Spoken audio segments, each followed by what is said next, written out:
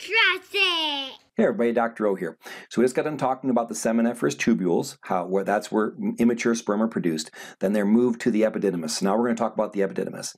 Um, so the and the spermatozoa, this immature spermatozoa plus some testicular fluid is carried into the epididymis. Just so you know, ends up being about five percent of of semen is what's what's coming from the testicles here.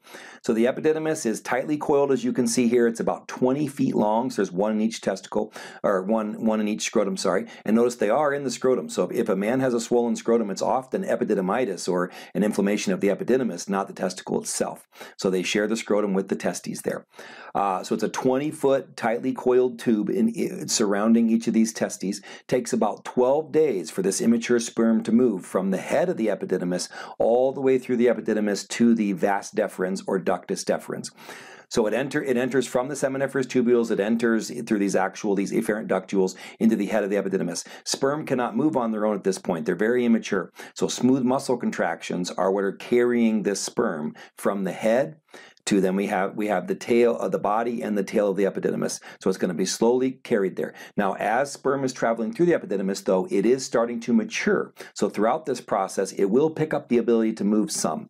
So it, it'll start to help. But at the beginning, it is it is smooth muscle contraction primarily, and maybe some ciliated cells that are carrying this immature sperm. Think about a boat that's been produced but doesn't have a motor put on it yet. So it's going to be carried through the epididymis.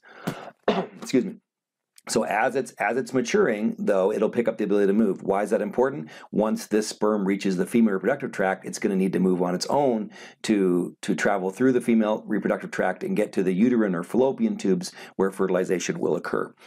Um, there will uh, then the, then the sperm is going to be stored here in the tail of the epididymis until ejaculation. Then everything's going to move forward, and it will be replaced by new, by new sperm being produced behind it. All right, so that's pretty straightforward. That is the epididymis. Next, we will see that the epididymis is going to carry um, sperm to the vas deferens or ductus deferens. So that'll be our next video. I hope this helps. Have a wonderful day. Be blessed.